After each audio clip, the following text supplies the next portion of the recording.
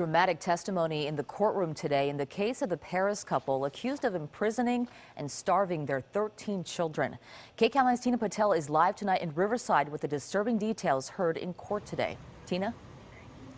Well, this hearing is to decide whether there's enough evidence for the Turpins to go to trial. And the prosecutors did not hold back, putting a half dozen investigators on the stand, showing graphic photos and revealing disturbing details of what they say the couple's 13 children were forced to endure.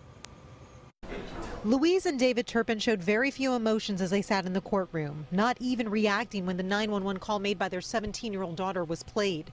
That 17 year old seen here in earlier YouTube videos had escaped from a front window of the family's Perris home in January, but she had trouble telling dispatchers her address because she hadn't been out much. She said she was worried about two of her little sisters who were chained up by their parents and tried to describe their living conditions. Quote, I can't breathe because of how dirty the house is. That 17 year old also told investigators that although much of the abuse came from her mother, her father tried to sexually assault her when she was 12. She said he pulled her pants down and put her on his lap, then told her not to tell anyone. In social media posts, the Turpin children are seen wearing matching clothing on trips to Las Vegas and Disneyland. But investigators showed very different photos in court, saying when the children were rescued, they were caked in dirt and wearing soiled undergarments. They say the children were rarely allowed to bathe. One girl saying that she changed her clothing to go out for Mother's Day, and when she came home, she was to put the same dirty, soiled clothing back on.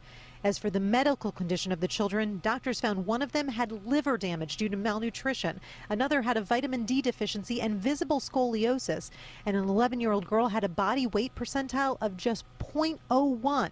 Her upper arm, the size of a four and a half month old baby.